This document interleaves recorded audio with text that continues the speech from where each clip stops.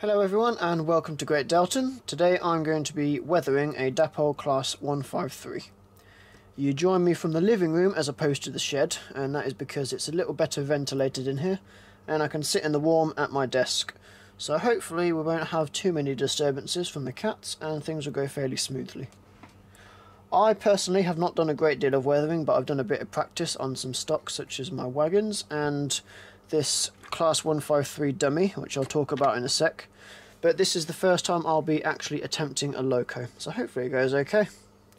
So as I said, I have done one practice shot on this dummy 153 in the East Midlands livery. There are a couple of things I'd like to change about it, but overall I don't think it's gone too badly. The only thing that had gone sort of uh, how it didn't want to go is the windows. I didn't mask them up properly and they got a bit matte varnish on them so they're a bit fogged up now. But it's all lessons learned and I shan't do it again in the future. The type of look I'm going for on this 153 is a weathered in-service look. So not quite straight out the factory as you'd see it like this, but also not so it's ready for the scrapyard. As you can see in this photo, the underframe and the chassis of the vehicle is uh, very grimy and you'd expect a lot of things to build up there like fuel leaks and oil and just general sleeper grime really so that'll pick up quite heavily weathered whereas the external area of the cabin is pretty clean. I can expect as a passenger vehicle it'd be quite regularly cleaned so there isn't really a lot of dirt on there so I shan't really weather that at all. On the roof there'd probably be some exhaust marks and a bit of uh, dirt around the uh, ventilation and the fan grills and then on the front around the mudguard and the yellow warning indicators there's not really uh, not really a lot of grime. Obviously that's got to be kept quite clean as it's a yellow warning indicator.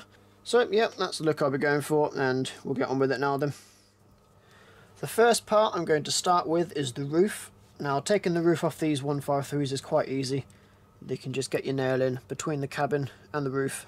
You can easily follow the line where it, where it splits and you can just take it off it just unclips quite easily.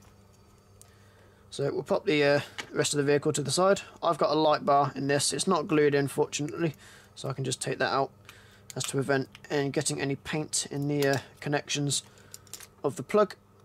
And here we are. So what I'm going to be doing with this piece of roof is I'm going to coat it in some general roof dirt and then around these fans and details there'll be a bit of dirt and then on that exhaust port there we'll have some sort of gloss or satin black to represent where a lot of the exhaust would build up. So the first thing I'm going to do is just mask off these areas of the livery as they would be kept clean.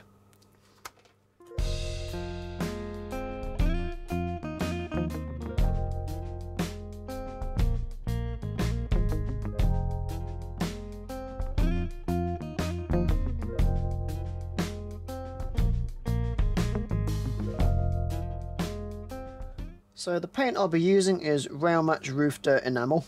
I always use enamels when I'm doing plastics and, well, locos really, as it stays on a lot better. I will go over it with matte varnish at the end, but I just prefer to use enamels. Um, for the thinner, I'll just be using some white spirits. I tend to use a ratio of about 40-60, 40 paint, 60 white spirit. That way I can get it thin enough so it doesn't give any splodges, but also not too watery so it just sort of uh, runs everywhere. Uh, the airbrush I'll be using is the Iwata Neo. It's a dual action so I can control exactly how much paint comes out. And then I've just got a uh, compressor from Amazon which was around £80. It's a silent compressor which means I can do it without waking everyone up, all the neighbours. And it runs at, a, I tend to use about 15 psi of pressure. 15 to 20, anywhere in that region does it. So I'll get on now, I'll mix some paint up and I'll paint the uh, roof in some roof dirt.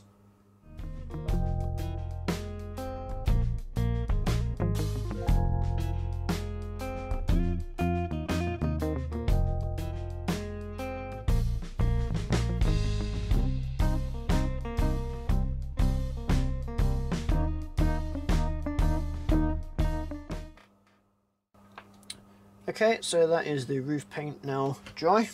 So the next thing I'm going to do is add some matte black. And I'm just going to accent these areas around the details like I'm not sure what these are.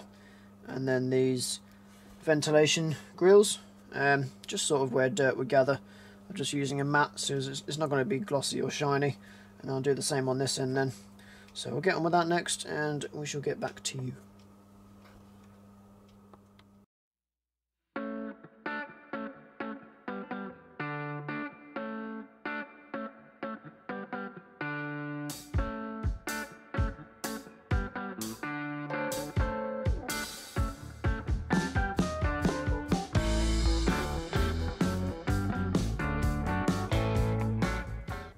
Right, while the roof is drying, we'll just have a quick look down at the chassis. Now the pickups on these are actually on the outside of the axle. So if we're spraying from this direction, then the actual bogie itself should protect the pickups from getting too much paint in them. So I'm not really going to bother masking them up. I don't know how well you can see that. But they have uh, strips that go on the inside of the bogies and then they will link on to the outside of the axles here. So with all being well, they shouldn't really get too much paintwork in them. So what I'm going to do next is I'm going to mask off this top of all the livery and then I'll be going over the top with a, sorry, I'll be going over the bottom with a couple of layers of Sleeper Grime paint, which is also a Railmatch paint.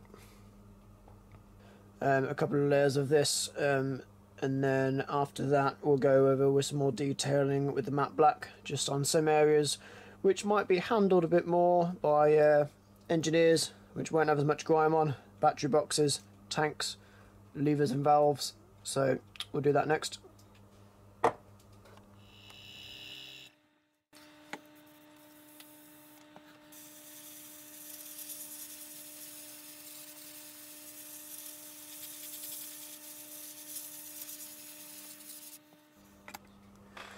So that's the Sleeper Grime paint all sprayed on.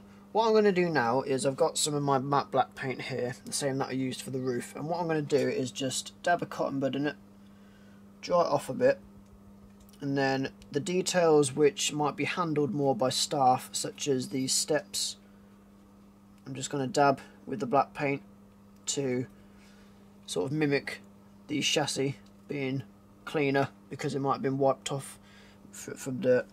Um, these areas over here, cabinets that might be opened. Um, the ends of tanks, which might be checked for levels if they have gauges on. And areas of the chassis which might be stepped on as well. On the other side of the model is the battery boxes and they'll be opened frequently to be topped up with uh, distilled water and to check all the uh, condition of everything. So a lot of things that will be handled, I'm just going to dab with a bit of paint. It'll be matte, so it'll be, uh, it won't be shiny, it'll be dirty still, but this is just to mimic the chassis still shining through the dirt. So that's probably all I'll do for this side. I'm just going to dab it a little bit and then with the dry end of the cotton bud try and blend it in so it's not too obvious.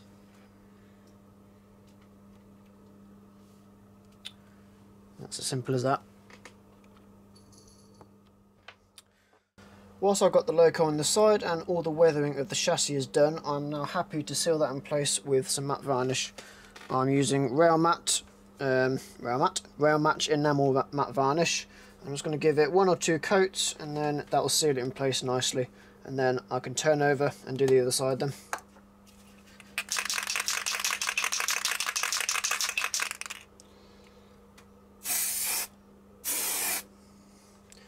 and that's really all, all it will need. So I'll uh, get the other side done and then we should get back on the roof. Back to the roof now and all of the dark black has dried and as you can see towards these ends it is a bit darker so that's looking how I want it now. The last thing I'm going to do to the roof before I seal it is add some exhaust marks and to do that I have a gloss paint as opposed to a matte so it'll look a bit shinier to represent maybe some fuel that might come out of the exhaust uh, pipes. So what I'm going to do is just grab my cotton bud again, I'll grab a fresh one, and then dip it in the paint, and then just dab it around this exhaust port here. We'll sort of make it elongated as this train will go either direction. So it's going to spread the exhaust either side of the port.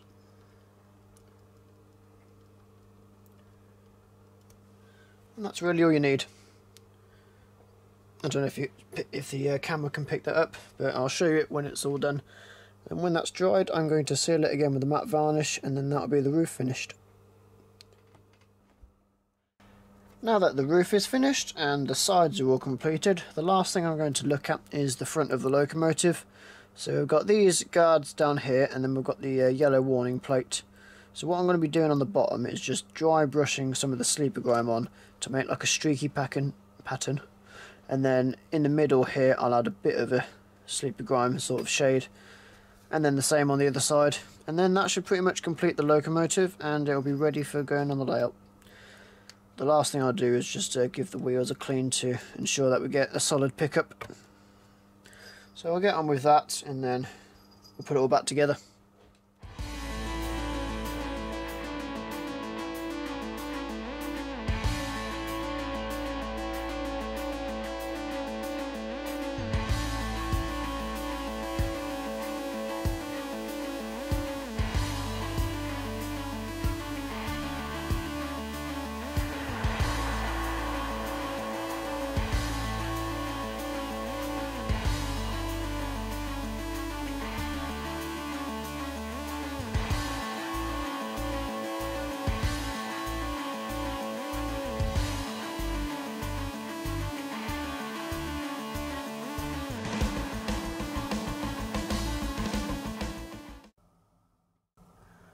So that is the finished product and I am quite happy with how that's turned out for a first attempt. It could be improved but it could be a lot worse so I think I'm quite satisfied with that. I think the uh, the grime under the chassis and on the front mud guards goes well with the uh, clean frame in terms of what I was trying to create regarding that picture we first saw. If we go up on the roof we can see that it's been darkened and grimed up a lot I don't think the exhaust ports have shown up as much as I'd like them to. But other than that, I think there's no real major, major issues. Um, if you've noticed that this is a new area of the layout that I am currently working on to present all of my weathered uh, locos in stock. What I've done is just put a bit of ballast and some static grass down and then I've now completed most of the back scene for the entire layout now as well. So yeah, I'm quite happy with that. Um, I will be doing a few more of these weathering videos. I'll be looking into doing my HST, um, my 66s, um, pretty much all of my freight stock with the hoppers, the MFAs, all of the EWS open wagons and maybe the container wagons as well. So hopefully over these next few months when I'll be inside a lot more and not so much out here before I start the station I'll be doing quite a lot of weathering. So that's all from me today. Um, I'll see you soon again, either for a layout update or another weathering video, depending on what I get on first. There's a few little jobs I'd like to get to. So I'll leave you with a couple of pictures, and bye-bye.